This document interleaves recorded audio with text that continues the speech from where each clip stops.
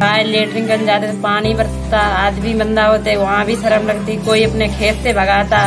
कोई कुछ भी कहता कहीं भी जाओ बहुत दिक्कत होती थी अब लेटरिन बन गई आराम थोड़ी तो हो गई मेरे तो कुछ भी दिक्कत नहीं घर में उठो घर में लेटरिन करे आओ कोई भी दिक्कत नहीं है बच्चों को भी देखो घर में स्वच्छ भारत तरफ से मुझे लेटरिन मिली